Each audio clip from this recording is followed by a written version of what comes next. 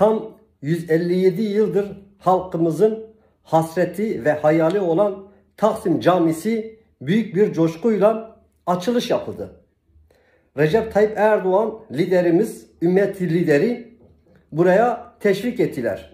Bu açılış sırasında 2 milyonu bulan yaklaşık 10 bin metreküp gül suyu dökülerek dosta düşmana en büyük cevap verildi. Şimdi bunu çekemeyen uluslararası güçler, işbirlikçileri, vatan hainleri ve dolar mafyası bir anda doları yukarı çıkarmaya çalıştılar. Sırf caminin açılışını gölgelemek için uluslararası güçler ve işbirlikçileri dolar mafyasıyla beraber doları yukarı çıkarttılar. İstediğiniz kadar doları çıkarın. Devletimizi bölemeyeceksiniz. Bayrağımızı indiremeyeceksiniz. Ezanlarımızı susturamayacaksınız. Reisimize operasyon çektiremeyeceksiniz. Allahu Ekber.